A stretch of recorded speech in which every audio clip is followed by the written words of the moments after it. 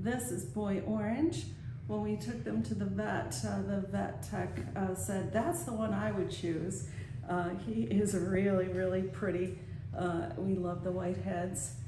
And he's got a big wraparound collar. Uh, just a beautiful puppy. This is Boy Orange.